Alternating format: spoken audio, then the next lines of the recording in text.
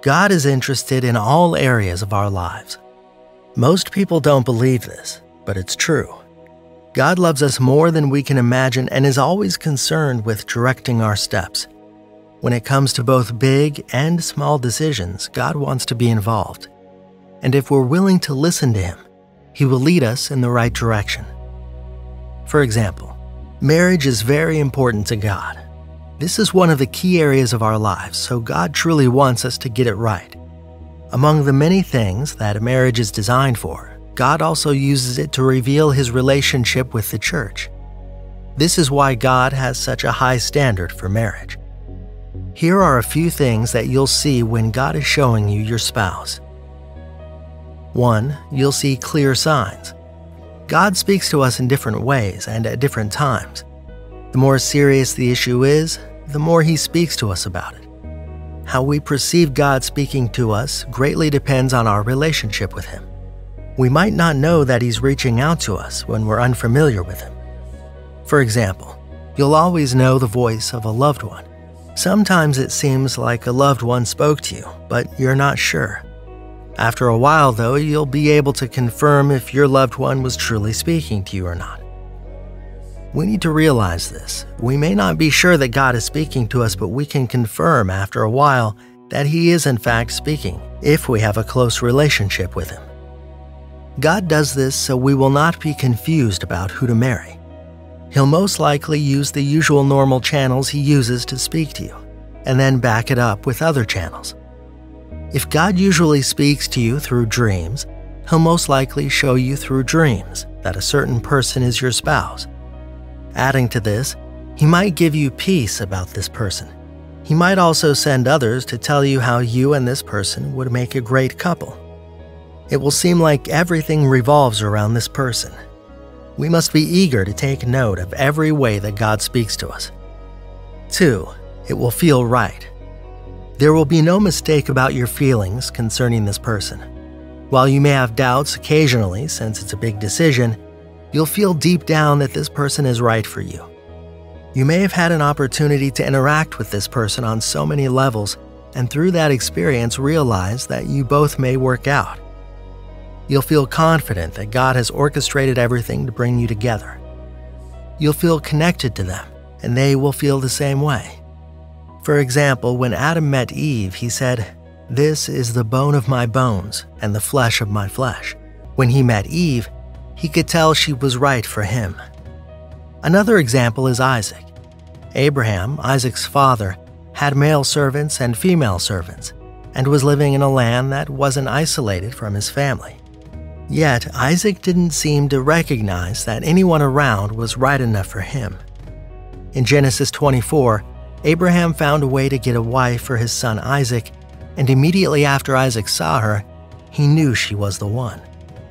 Since he had previously lost his mother, the Bible states that he became comforted by her presence. We can deny the feeling all we want, but most times, for true believers, we will know if that person is right for us. 3. You will see that our relationship with God will not diminish. Marriage doesn't define our relationship with God, but our relationship with God defines marriage. A lot of people make mistakes when they're choosing spouses. They reject who God wants for them and stay with people they're not supposed to be with. When this happens, their relationship with God begins to dwindle.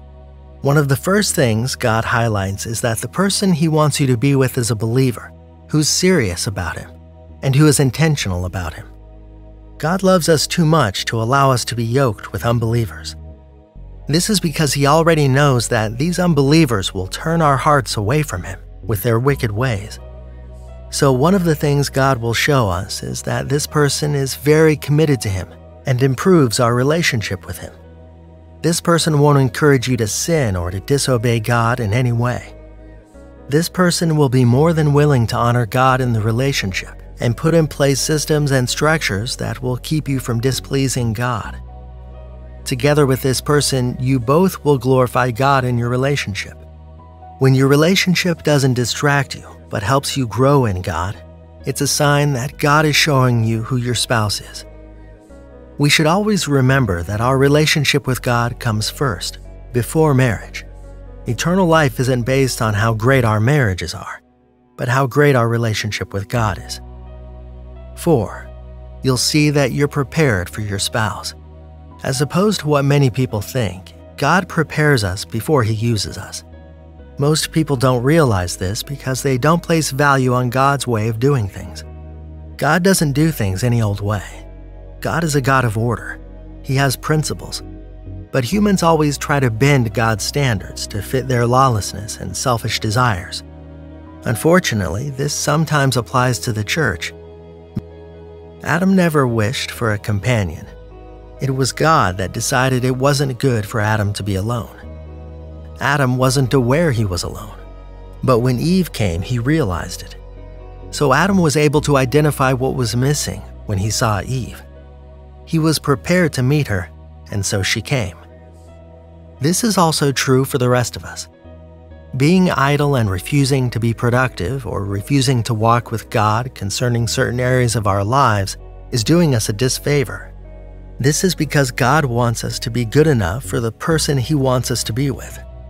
The way He trains us is also how He trains them, so you can recognize them when they come.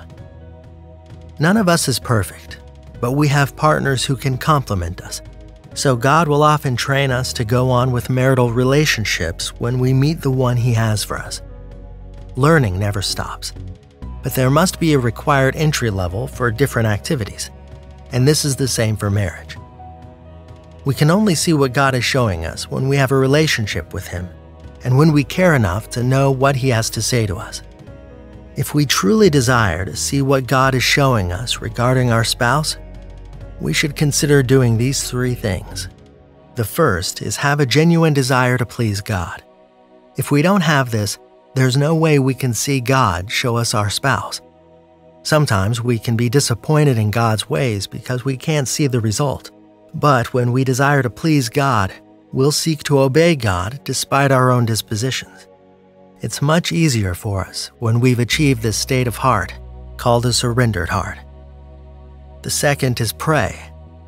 We can't see what God is showing us when we don't communicate with Him. So we need to ask Him what He's showing. We need to plead with Him to open our eyes to see more clearly. This is very important. The third is to study the Word of God. This is the primary way we see what God is showing us. More than any other channel, God has chosen to speak through His Word in these last days. Not opening the Word of God means that we're not ready to see what He's showing us. We can have a blissful marriage when we choose to walk with God, and this is based on obeying the instructions He gives us. I hope you enjoyed this video, and thank you, and God bless you.